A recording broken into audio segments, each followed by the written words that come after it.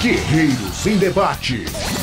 O Cruzeiro precisa se reforçar um pouco mais, né? A gente fala que manteve a base, que não perdeu muito jogador. Na verdade, nós não perdemos jogadores importantes.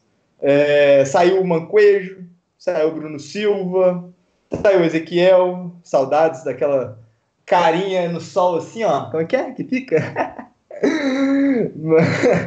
Mas o Cruzeiro, o Cruzeiro teve algumas perdas e, e você precisa trazer jogadores para suprir algumas perdas, né?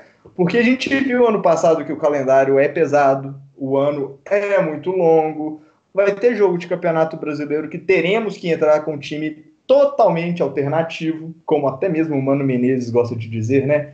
Time alternativo. E principalmente precisamos de jogadores que, que desempenham uma função que hoje parece que o Cruzeiro carece, que são jogadores de velocidade, né? E você comentou que tá chegando o Marquinhos Gabriel, que vai ser apresentado amanhã à tarde. Até mesmo amanhã desembarca o Rodriguinho aqui em Belo Horizonte, né? Essa é a promessa que os jornalistas aí que cobrem o Cruzeiro têm feito.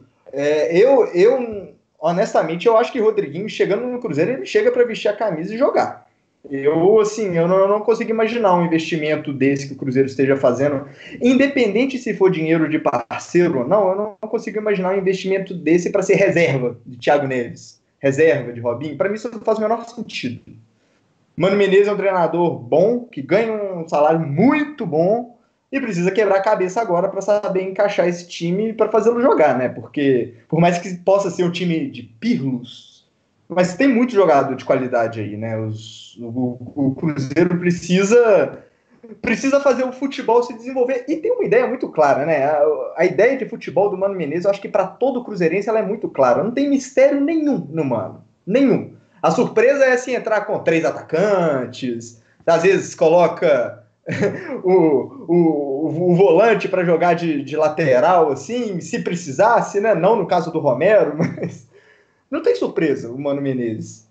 E, e eu, eu acho que ainda falta. É, falta uma coisa para o Cruzeiro, que é um lateral esquerdo.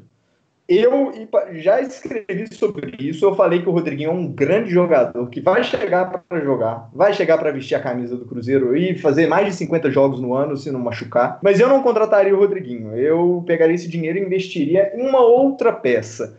E até aproveitando aqui para vender meu peixe, né? Logo mais nós vamos postar um, um, texto muito bacana na, no site do Guerreiro dos Gramados, no qual eu vou estar tá comentando um pouquinho sobre essa competitividade que o futebol brasileiro tá e que o Cruzeiro precisa usar de inteligência e principalmente de criatividade para se manter lá no topo e continuar ganhando os títulos, sendo bicampeão brasileiro, como já foi, né? Bicampeão da Copa do Brasil, e, e tudo mais.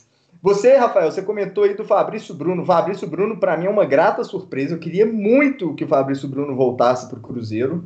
É, você vê aí nas redes sociais que o jogador está o tempo todo falando do Cruzeiro, demonstra um carinho. Você sabe que, que é o cara que chega para vestir a camisa e que vai honrar a camisa celeste, que vai suar sangue, não é qualquer cabeça de bagre que você arruma aí. E principalmente, né, saindo um zagueiro aí que ganhava o que, 500 mil reais para ser o quarto zagueiro, seu segundo zagueiro reserva, brincadeira, né? Então, a volta dele me motiva cada vez mais de achar que a gente continua com um elenco competitivo e, quem sabe, né, uma folha aí cada vez menor que permita com que o Cruzeiro mais para frente possa fazer outro investimento. Aqui no Guerreiro dos Gramados é de torcedor para torcedor. Sou cruzeirense apaixonado e pra sempre eu vou te amar.